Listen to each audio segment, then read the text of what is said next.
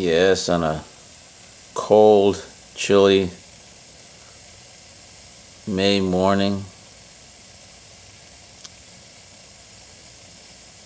May 11th, 2012. About 59 degrees outdoors. Finally, we get a little bit of heat coming up.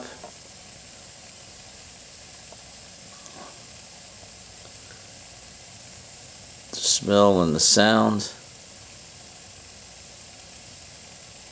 It's music to my ears. The sound of music.